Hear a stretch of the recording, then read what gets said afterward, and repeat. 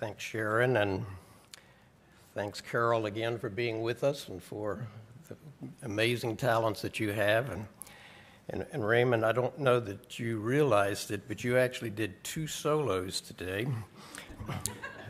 Because on Break Thou the Bread of Life, our hymn book only had two verses, and yours had four. So, but uh, that's okay. I mean, it's kind of like that in Christianity. I mean, the, the the Catholics say the Lord's Prayer, and they have shorter Lord's Prayer than we have. We have two more verses. um, or the ending of Mark's Gospel, the different manuscripts, some have a lot more verses than the others, so we're right within that tradition. so, uh, this was one of the last books uh, that my mother was reading, and you'll see it on the screen there in a minute. The Man Who Moved a Mountain. Uh, we found it tucked in the side of her recliner chair when she died at the age of 97. And so I know it was one of the last books that she was reading. And it has her underlining in it and even some of her notes in a shaky handwriting that often comes when you're aging. Uh, I'm not sure where she got the book. And I'm not exactly sure why she was reading, but I have some theories about that, and I'll come back to it a little bit later. And in my theories and in my preaching, I'm one of those church members who you have to listen to every so often.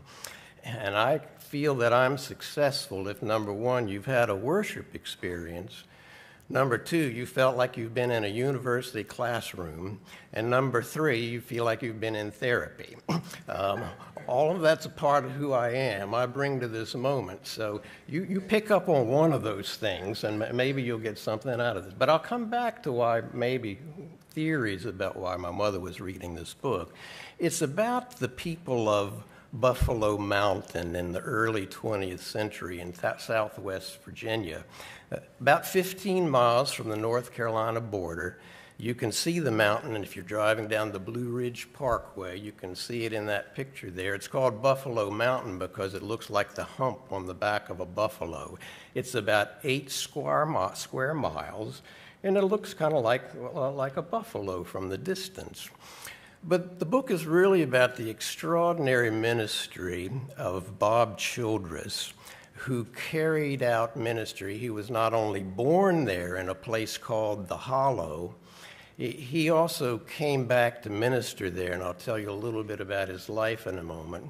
Uh, he was born there on January 19, 1890, and he died there January 16, 1956. Uh, this was an area settled by the Scotch Irish in the 1700s. And the first people who came settled in the bottomland where it's rich and the soil is very productive. And they built businesses and they built uh, churches and they built schools, even colleges.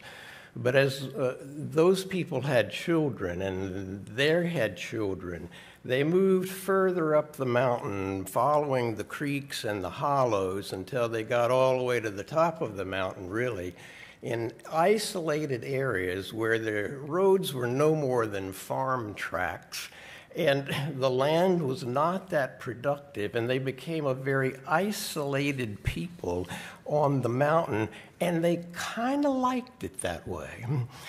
They didn't want, uh, some people said they, they were like an island marooned, in, marooned on an island in the middle of the ocean. And they liked it because they were free of authority, they were free to make their own whiskey, they were free to fight, and they were free to raise their families they saw fit without interference. And they resisted the construction of new roads and bridges because that would bring in the law. And they might mess up their stills. And it might kind of take on and interfere with how they settled their, their, their disputes. And the way they settled their disputes was with guns. They just kill each other. um, and that seemed to be a part of the normal tradition. Along with alcohol and guns, the third big giant in this area was the Primitive Baptist Church. Primitive meaning original, born of proud old Calvinist doctrine, as it says in the book, but freed from the constraints of education and seminaries. And their ministers said they had ironclad beliefs in the Bible. As one said, I'd believe it even if it ain't so. and they would preach sometimes four or five of them on a given Sunday from what they called the lids of the Bible, even though most of them could not read the Bible. But they were ironclad beliefs, so they called themselves Ironsides or hard shell Baptists. they, had, they had a shell on, and they believed it, and it was the one right church, one right church. And there was a strong predestinarian belief and you could see it in the sermons, all of, of, the funerals especially, in which every sermon would wind up saying, And God had willed the death long before the world began. It was predestined. Um, Bob Childress grew up in that environment. His first memory is age three, in which he was drunk at a Christmas party. And then he lived a life of carousing, professed carousing, and fighting and drinking. Uh, and two things changed his life. Uh, number one, uh, a member from the Allen clan had shot somebody, and the law got in and took him down to the courthouse down in the bottomland. And uh, Bob Childress went down to see some of that. But the rest of the clan, defending the clan, and Bob Childress thought this was normal, came into the courthouse, shot the sheriff, sh- shot everybody in the courthouse, and took their member of the clan back into the hills. Bob said, well, that's pretty normal behavior. But some of the national news reporters came in during that time, and he read what they had written about the mountain people as unprincipled ruffians. These wild Christian clans take the same view of the law as Bedouins on a cattle raid. And he said to his mother, They don't see the world the way we do, do they? And they don't see us really as we are. We're not all bad people. And for the first time, he got a glimpse of the world outside of the mountain, and it changed his life. The second thing that changed his life was he went to a Methodist revival. I mean, these people shot each other over theological differences. He went to a Methodist revival and heard preaching that gave him peace for the first time. And he made the acquaintance of a Roy Smith who mentored him. And Roy later confessed secretly, I'm a Presbyterian. Bert, you'll love that. Uh, because you see, if you said you were Presbyterian, they'd shoot you. because Presbyterians, to the primitive hardshell Baptists, they, they weren't Christian at all, and the way you settled things was with a gun. Uh, Bob became interested in Sunday schools, in education, and later, when he tried to do that, his life was threatened with a gun for introducing Sunday schools. He decided to be a minister. He wanted to be an educated minister. He had not finished high school yet, and so he had before him 11 straight years of education. Went to Union Seminary, Theological Seminary in Richmond. And while he was there, he preached in some fine pulpits in Washington, D.C., at Yale Chapel, and on graduation, he was given a prom- the promise of a prominent pulpit in North Carolina. But on June 3rd, 1926, he said, I'm going back to my people on Buffalo Mountain because they need somebody. They need somebody from the outside to come in and help them. and that's what he did. And the first thing they said to him when he got back, uh, Pastor Childress, you'd better wear a gun. And he said, I haven't worn a gun since I was a young fellow, and I don't think I'll start now. And he wouldn't put on a gun.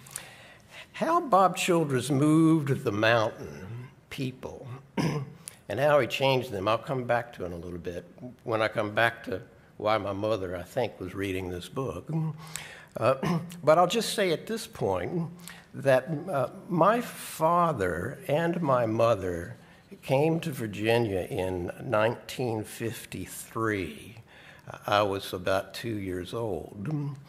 And you see, uh, he, my father started a church in the suburbs of Richmond, Virginia, which became one of the biggest churches in the suburbs of Richmond, Virginia.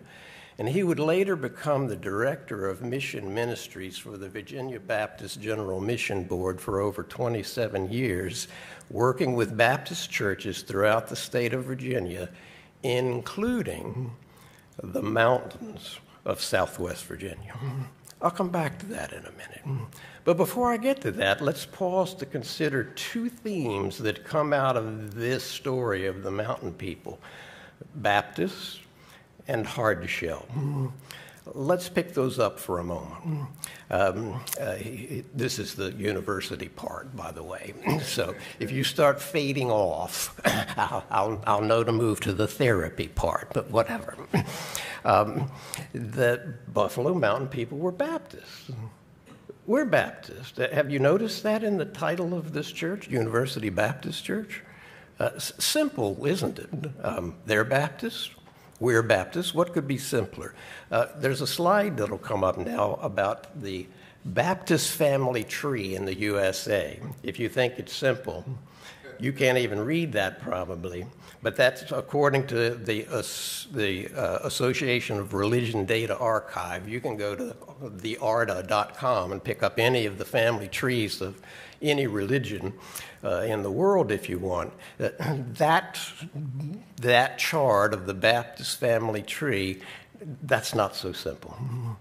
And how are we alike and how are we different from the hardshell Baptists, the primitive Baptists of Buffalo Mountain? If we're thinking about our identity in this period, interim period of a church, we ought to know a little bit about our roots, I would think, uh, because some of that's being carried forward consciously and unconsciously in the life of the church. Oh, there's the therapy part. uh, the hardshell Baptists were from the primitive Baptist tradition defined by hyper Calvinism, John Calvin being a writer in the 16th century that influenced Protestantism but they took that writing to the extreme, especially around the concept of predestination. No need for missions because anybody who's going to be saved has already been saved from the beginning of creation. No need for education. Why do that? It won't change anything. Uh, no need to go outside of your clan because everything's predestined from the beginning. That was an extreme form, hyper Calvinism, that the primitive Baptists held. Uh, the Bible was believed implicitly. And as with all Baptists, the Bible was extremely important. But the lens through which they read the Bible, saw the Bible, uh, led to not only the branching there, but on that whole Baptist family tree, the way you read Scripture has uh, determined every time that there's been a split within the Baptist family, and another branch goes here and another branch goes there.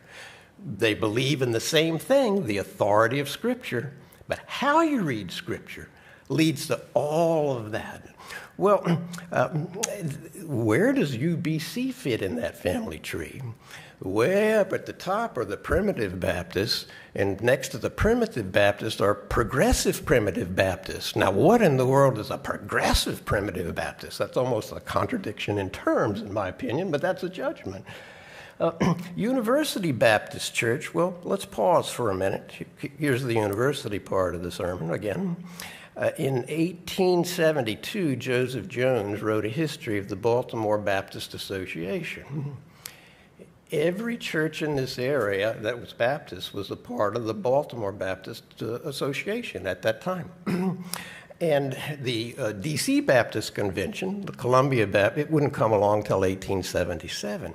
So he wrote that in, uh, Joseph Jones wrote, in 1802, uh, there was a church that was admitted to the Baltimore Baptist Association it was the first church and Baptist church in the Washington, D.C. area, and that church exists today as the First Baptist Church of Washington, D.C.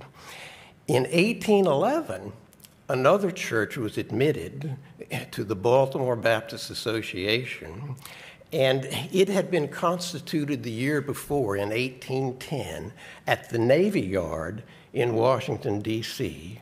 And that church would become the second regular Baptist church after a series of moves and mergers, if you go out here into the foyer, or as Jeanette would like to say in high church terms, the narthex, to the left on the wall is that cornerstone from the Second Regular Baptist Church, 1810.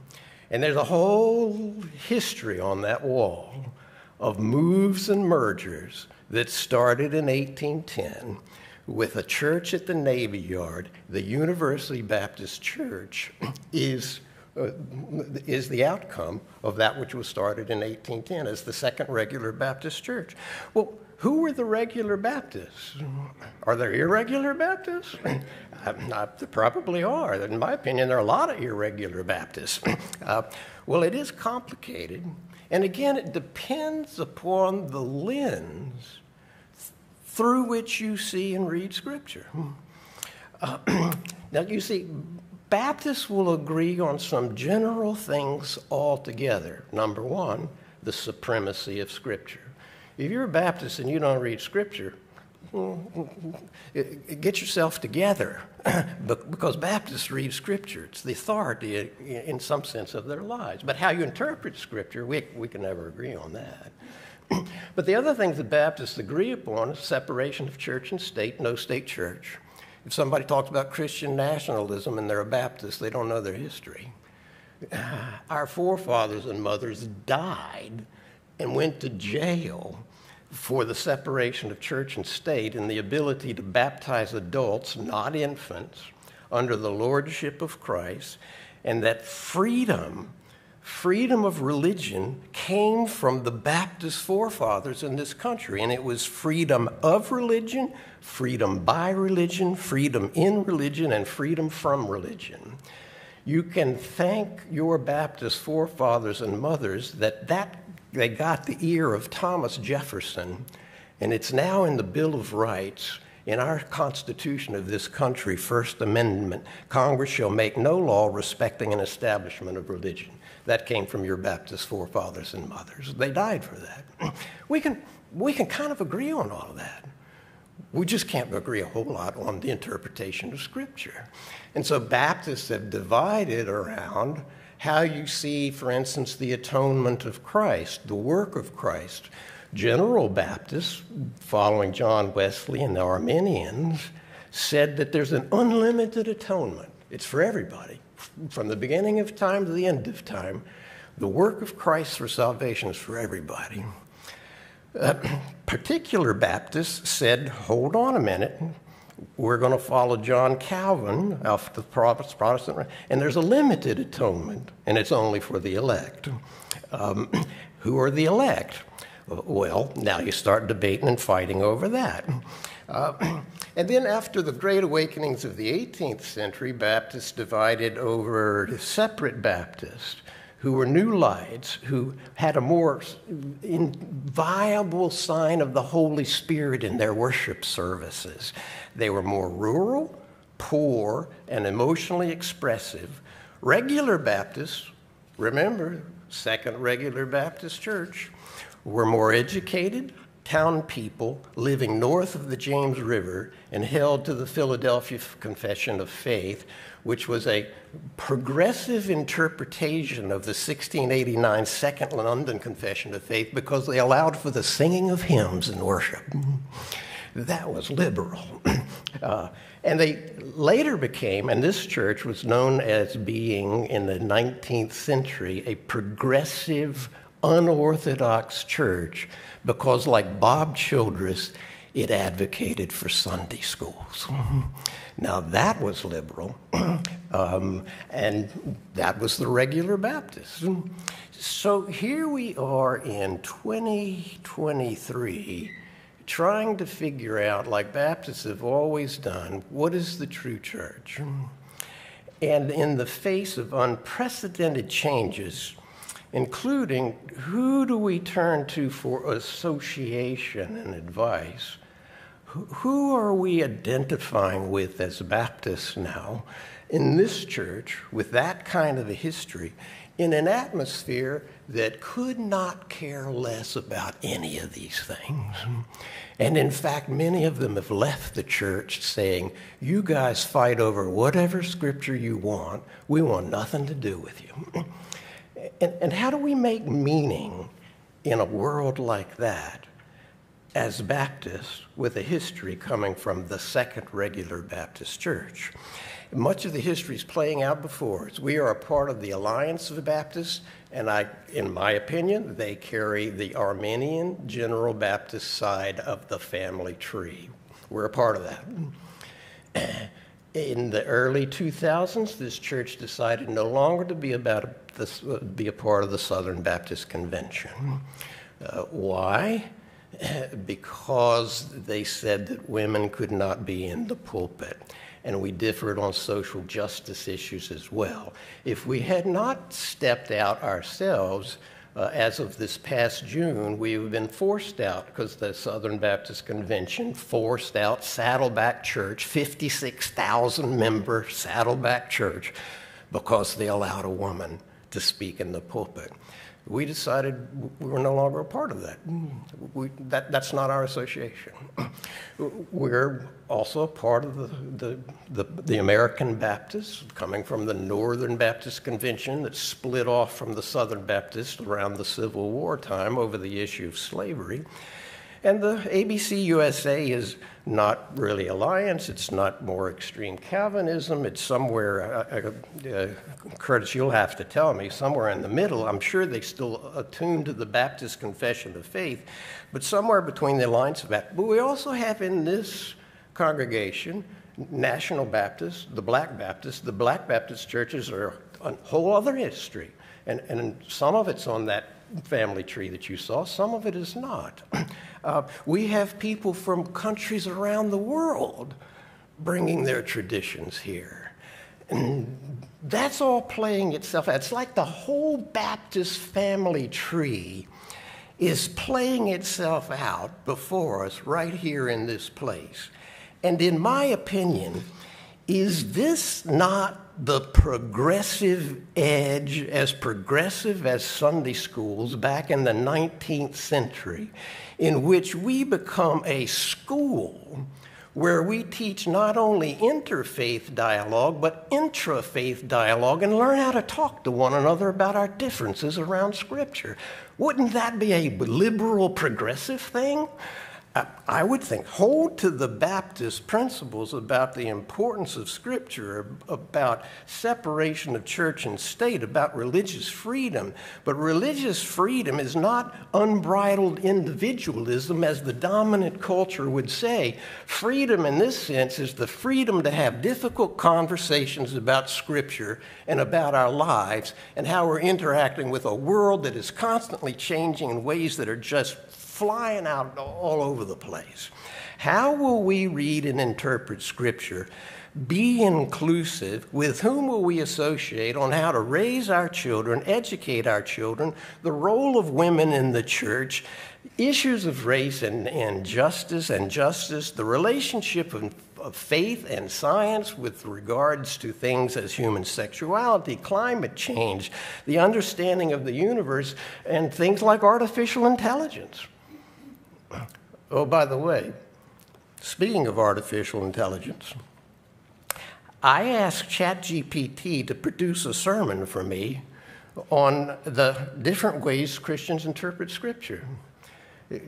In 30 seconds, do you see the temptation here for pastor? You know, it takes 15 to 20 hours to write a sermon. In 30 seconds, ChatGPT gave me a sermon that's shorter and no more understandable than the one that you're hearing. Why don't we go with that? And it was entitled Exploring the Tapestry of Scriptural Interpretation. These are the different ways historically we've interpreted the Bible. If you're stuck in one, get another one. If we're going to do a school of interfaith dialogue at a place like this, you need different ways to interpret Scripture. This list, by the way, is incomplete. ChatGPT didn't get it all. but you wouldn't know that if you hadn't done other study around it. Uh, but I like the way that ChatGPT concluded the sermon that it gave me. better than my sermon. It says, Dear brothers and sisters, the beauty of the Christian faith lies in the diversity of scriptural interpretation. Let us embrace the fact that there are ways, various ways to explore and apply Scripture, and let us engage in respectful dialogue and learning from one another. May we approach the study of the Bible with humility, open hearts, and a desire to grow in faith. Now, that's artificial intelligence. It sounds better than natural intelligence to me. Maybe we incorporate artificial intelligence in how we interpret Scripture. I don't know. It's a new day. And we're in a new place, trying to be a new church that's got all of that history right here in this building. It's amazing. And it's why I like this church, because we can have all those kinds of discussions if we'll have them and if we'll read Scripture together. But I said we were not only going to talk about Baptists, we were going to talk about hard shell. That's the other theme, and I'll close with that. Of course, um, technically, we are very different from the hardshell, ba- hardshell Baptists of, of, Buffalo Mountain, as I've pointed out. We're not hyper Calvinistic in our theology. Uh, but we would be wise to humbly consider whether or not there are some hardshell characteristics in our own lives. Everybody ought to ask that question. For instance, when I drive through rural Virginia or Maryland, I often laugh to myself when I see a political sign that says, God, guns, and country. and I inwardly joke, the spirit of hard shell Baptists are still alive. If you would only add whiskey to that sign, in fact, some people in my family would join that church in a moment. God, guns, whiskey, and country. Uh, but if I do that in a judgmental and scoffing way and laugh at the people who are Christians behind that sign, then it is saying more about my hard shell than about their hard shell. Because I've just cast judgment on my Christian brothers and sisters, whether they're political differences or not. That's my hard shell. David Augsburger, in attempting to train culturally sensitive counselors, referred to the hard shell characteristics defining people who are encapsulated in their own country and hence the Malayan proverb that says, We are like the frog under the coconut shell. And the image was clear the frog, having never left or escaped the boundaries of the coconut shell, had a very limited world, dark and silent in times. And encapsulation, Augsburger says, becomes another word for human sin where we think that our way of seeing the world is absolute and totalizing order equivalent to the kingdom of heaven. But all we can see is what's under the coconut shell. The Buffalo Mountain people were encapsulated in the subculture found in an eight square mile piece of geography in southern Virginia almost similar to an alcoholic family system in which you don't go out of the system in order to solve your problems. Encapsulation. And one would think in the digital age that it would be impossible to be encapsulated like that. But I guarantee you that we are encapsulated digitally in the echo chambers of social media. And you're being fed stuff that keeps you encapsulated in a certain kind of coconut shell that makes you angry, makes you click here or click there. We've got coconut shells in our pockets with our iPhones or with our computers. And we can be as encapsulated as the people in the mountains of Southwest Virginia. And Christians, in their attempt to come together in like minded associations, can become encapsulated and fail to deal with the new realities demanding new answers in a new world. Most religion that gets shouted at political rallies is nothing more than the shellacking of one's coconut shell. And the same can be said of most religious conventions. They're simply shellacking their coconut shell and making the people happy who think like them. What in the world would it be like to get out of your coconut shell and talk to other people around things like Scripture. I mean, it boggles my mind. And we're going to have to face that question ourselves, for instance, in the building of a new building, because we're either going to build something that's creative or we're going to build a shiny new coconut shell. Which is it going to be? Can we come out from under our coconut shell and have what the freedom that Baptists say is the freedom to have difficult conversations? We need that as a congregation. Jesus referred to the hardened shells as hardened hearts, or the hard shells as hardened hearts. Picking up the words of the prophet Isaiah, in which he said, Having eyes to see and ears, do you not see? Do you not hear? Are your hearts hardened? He was talking about the coconut shells, and that all human beings have it. And as the ad on TV that comes now, Jesus gets us. Jesus gets us. Why, why do you have a coconut shell? It's simply survival. Here's the therapy part. We build coconut shells to survive. The problem is the yeast of the Pharisees and the yeast of the empire, meaning that the world around us and the dominant culture will always make you feel that you're working with a scarcity model. Not enough bread, not enough nurture, not enough power, not enough control, not enough likes on social media, not enough knowledge, not enough spirit, not enough life, not enough salvation, not enough grace, not enough heaven. It's a scarcity model. And those in power either will make you poor, built on a class system or a race system, or the marketing will make you think you're poor even though you have more than anybody in the rest of the world. It's a scarcity model. And it helps us build coconut shells because we're afraid somebody's going to take what we've got. And the kingdom of heaven, Jesus proclaims, there's not only enough, the kingdom of heaven, the community of heaven, there will always be baskets left over. Can we operate with that kind of model?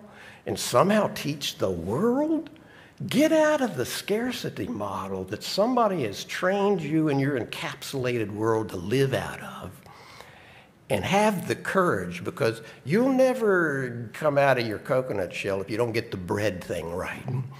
The reason we're under the coconut shell is we're afraid we step out, we're going to lose something. You got to get the bread thing right. There's enough bread, there's enough to go around, and we need to support those systems that say if there's not enough to go around, we've got the wrong system. And we advocate the kingdom of God, the community of God in that. So let us come out. Bob Childress got the bread thing right. He turned down the pulpit that'll give him more money, whatever. He went back to his people. He got the bread thing right. No scarcity model. And he found a way, he could do that because he found a way to get off the mountain, get out from under the coconut shell, both physically and educationally. And then he went back to help people rather than judging them as wrong. And he did so not only with acts of charity, but he built educational systems, religious and secular. He gave employment creating sawmills and building churches out of local stone. And he did this not only for the white men, but for the women, for the gypsies in the community, and for the African Americans. He got the bread thing right. Uh, I'm wondering in this interim period, can we learn from people like Bob Childress and get the bread thing right? You see, I I think my mother was reading this book at the end of her life. Because at the end of your life, or the end of significant periods in your life, you always do life review. And you see, Bob Childress died in 1956. She came with my father at Richmond in 1953. And you see, she and my father picked up the story of the likes of Bob Childress. And my father, in his ministry, would work with Virginia Baptists to come out of the encapsulation of segregation out of the encapsulation of Protestant Catholic animosity, writing a manual of marriage between Protestants and Catholics. He would work to come out of the encapsulation of anti immigration, at that time, Cuban refugees, Southeast Asian refugees, giving them homes and building ethnic congregations throughout the state of Virginia and out of the encapsulation of reading scripture in a way that excluded women. And in his post professional life, even more difficult, learning to read scripture coming out of the encapsulation of homophobia. I have felt a responsibility to pick up the story. I hope my children will as well. And this church, I think, prepared by somebody like John Burns, has the ability to pick up the anti encapsulation story of church, Baptist or otherwise, even as we pick up the story of the Second Regular Baptist Church, established in the Navy Yard in 1810. And maybe in some increments in our lifetime, move it a little bit forward towards the kingdom or the community of God in this place. That to me is the exciting task before us if we can learn to read Scripture together differently and have the freedom to have tough conversations. Amen.